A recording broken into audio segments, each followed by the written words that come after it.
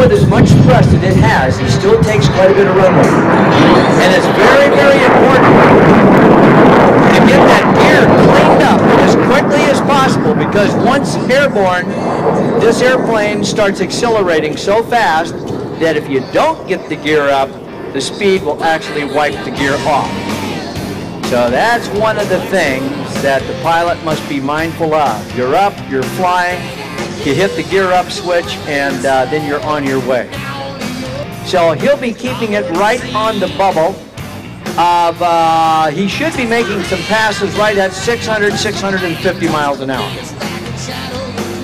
Now you take about a man, uh, talk about a man that's used to speed.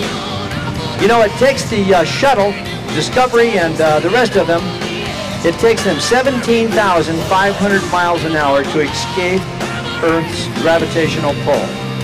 So here is a man that's used to speed. Ladies and gentlemen, the MiG 21.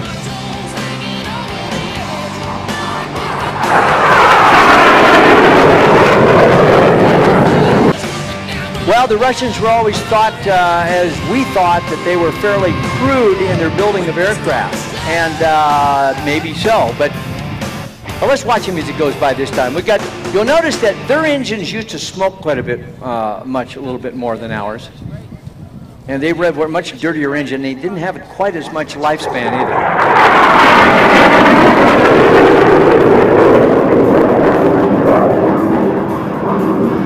He's going to make about three passes here. And you can see, that airplane gets up and gone in a hurry.